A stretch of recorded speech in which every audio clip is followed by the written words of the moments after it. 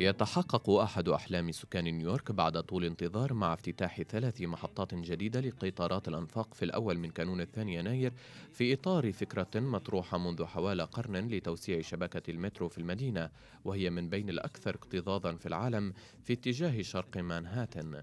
ولم تتوقف حركة الركاب عن التوسع خلال السنوات الأخيرة وعلى رغم تسجيل مستويات أدنى من معدلات الاستخدام لقطارات الأنفاق في مدن طوكيو وبكين وسيول الآسيوية. الكبرى أحصت شبكة قطارات الأنفاق في نيويورك مع محطاتها البالغ عددها 422 والتي تعمل على مدار الساعة ما يقرب من مليار و800 مليون رحلة خلال العام 2015 وهو رقم قياسي منذ العام 1900 1948 متقدمة بالتالي على باريس ولندن. وثمة مرحلة ثانية مرتقبة لتوسيع الشبكة إلى الشمال حتى هارلم مع تخصيص ميزانية قدرها 6 مليارات دولار إضافية.